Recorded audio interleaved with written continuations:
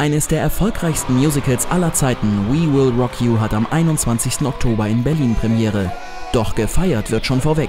400 Fans haben die Möglichkeit, die Rocklegenden Brian May und Roger Taylor sowie Erfolgsautor Ben Elton zu treffen. Für die auserwählten Queen-Anhänger ein absoluter Höhepunkt.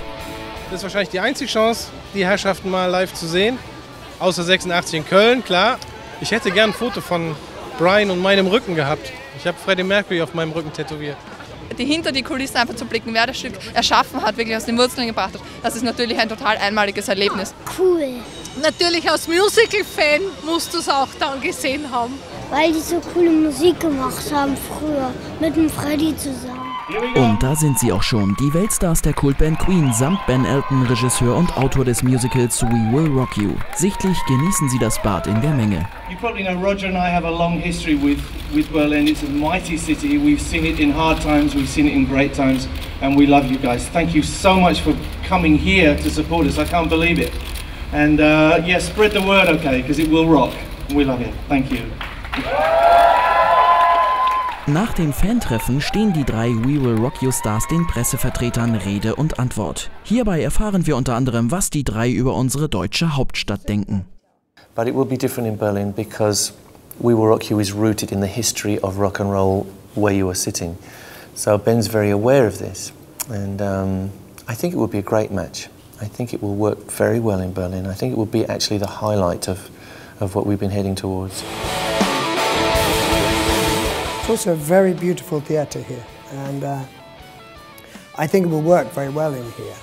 And uh, I don't see why it shouldn't be as well received here as it has been in other places. Um, but I'm aware that Berlin is a sort of cultural centre now.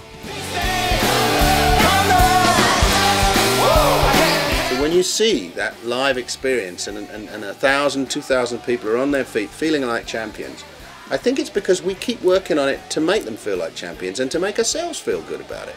This is not some franchise that we just push out into the world and hope everyone will pay us a lot to see it. No, it's something that we believe in and we continue to recreate wherever we go.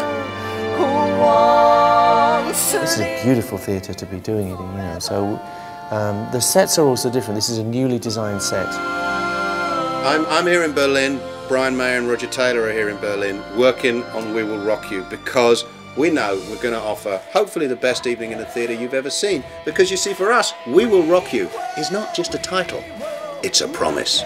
We will rock you.